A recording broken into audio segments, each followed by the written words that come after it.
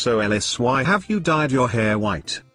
It's a secret I will only reveal to the world on Friday Friday gotta get down on Friday.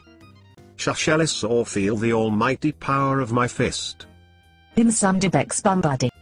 Really didn't want to know that Nathan Bazists were his John Jack. Oh he is at home wanking off about his Xbox next month. Yes the retarded one speaks the truth. Enough thu guy's going to add him. I might just to piss him off. Nope annoying and on that bombshell good night.